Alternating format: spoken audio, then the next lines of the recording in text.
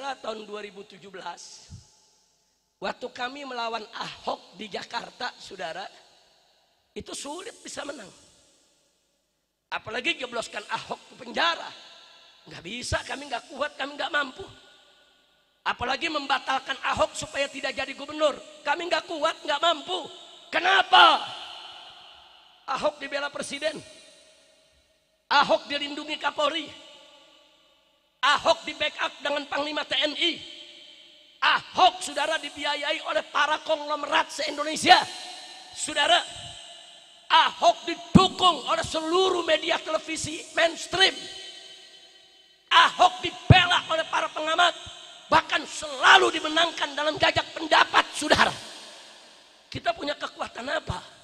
Ahok didukung kekuatan negara didukung kekuatan partai, didukung kekuatan politik, kekuatan ekonomi, kekuatan militer, kekuatan polisi. Kita punya kekuatan apa, saudara? Nggak punya. Tapi, saudara, itu yang tadi kita jelaskan. Ada satu modal yang kalau ini kita kerjakan, sekuat apa pun Ahok, Ahok nggak bakal menang lawan kita, saudara. Kekuatan apa? Itu tadi Intan surullah yang surkum. Jika engkau sungguh-sungguh membela Allah, pasti Allah akan memenangkan kamu sekalian. Yang kedua, kekuatan apa? Alaikum bil jamaah. Berjuang dong bersama. Fa inna yallahi ma'al jamaah. Sesungguhnya pertolongan Allah ada pada kebersamaan. Ini saya yakin, saudara.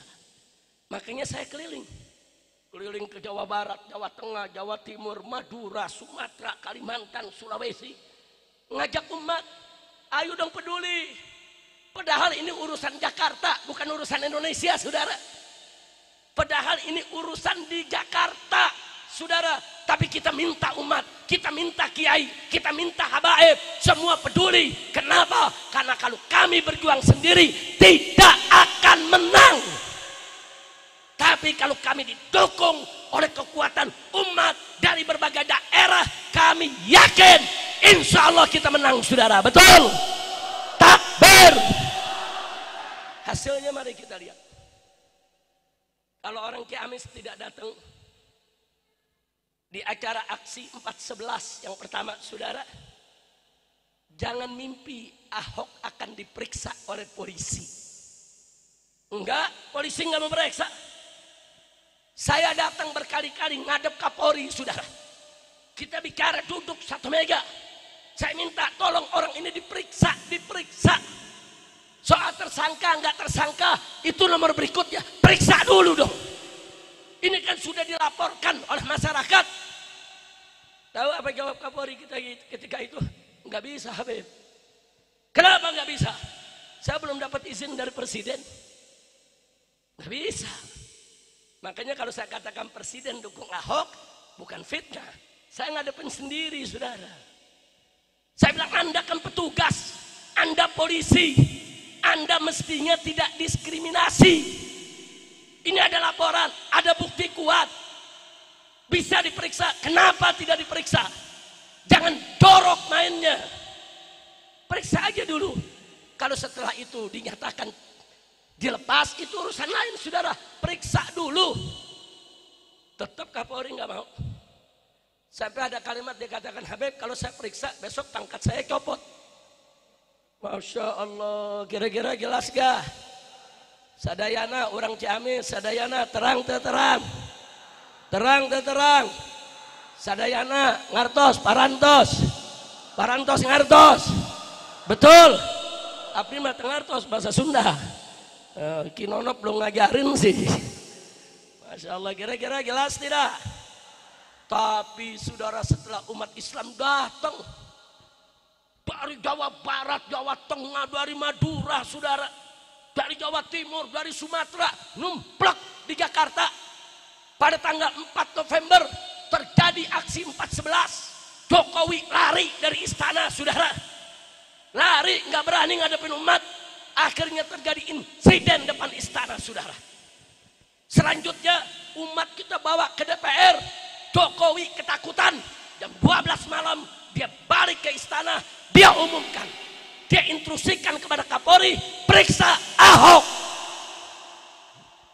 Jadi kalau nggak ada 411, Ahok nggak diperiksa, betul? Betul. Jadi diperiksa gara-gara apa?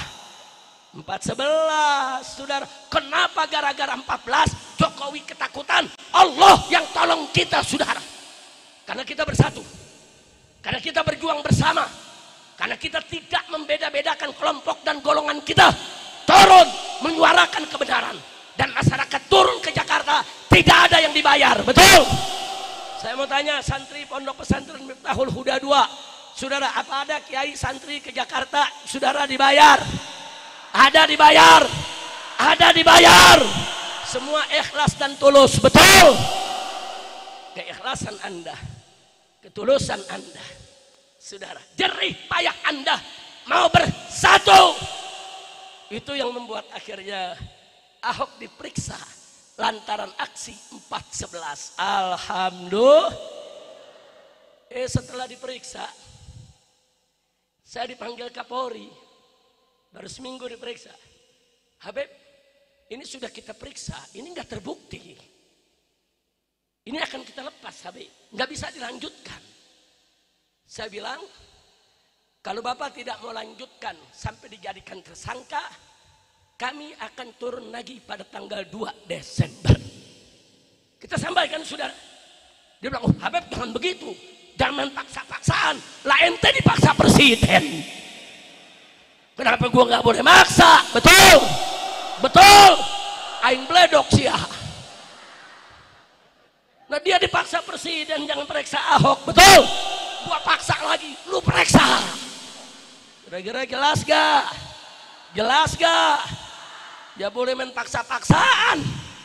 Saudara, kalang kabut dia begitu kita mau turun lagi saudara. Akhirnya aksi 212 digelar saudara.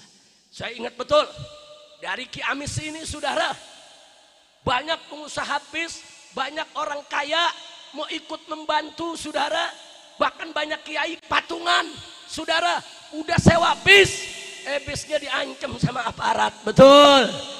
Akhirnya nggak bisa naik bis, betul. Saya mau tanya saat itu orang Ciamis putus asa tidak? Putus asa tidak? Akhirnya Kiai dengan santri memutuskan jalan kaki ke Jakarta. Takbir! Takbir! Masyarakat Ciamis bagus tidak? Hebat tidak? Dahsyat tidak? Takbir! 300 kilo ada itu. Ada berapa kilometer dari sini ke sana? 300 kilo, saudara jalan kaki. Subhanallah. Eh, kalau bukan karena tekad saudara, kalau bukan karena iman kepada Allah, kalau bukan karena kebersamaan saudara, enggak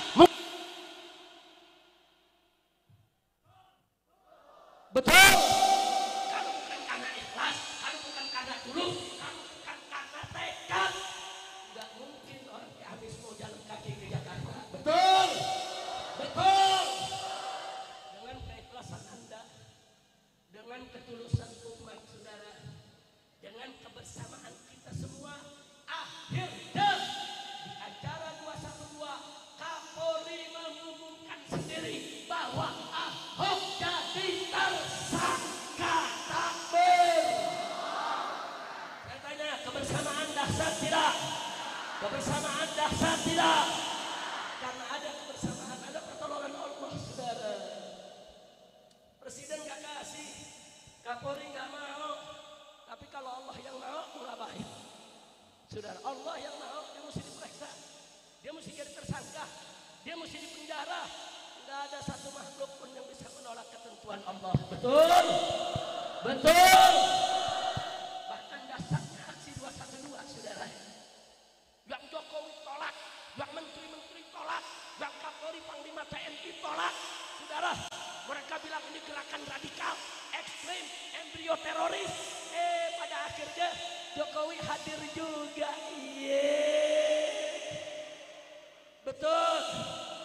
Betul. Saya mau tanya di ujung acara Jokowi hadir gak? Hadir gak? Berarti Jokowi alumni 212. Iya. Betul. Jadi kalau sekarang ada yang 212 ekstremis. Berarti Jokowi ekstremis dong. Aksi 212 teroris. Berarti Jokowi rasain. Ngatain 212. Betul? Betul. Kalau gitu sekali lagi saya tanya, kebersamaan itu dahsyat tidak? Indah tidak? Kalau kita berjuang bersama ikhlas tulus bela Allah, ditolong tidak? Dibantu tidak oleh Allah? Betul.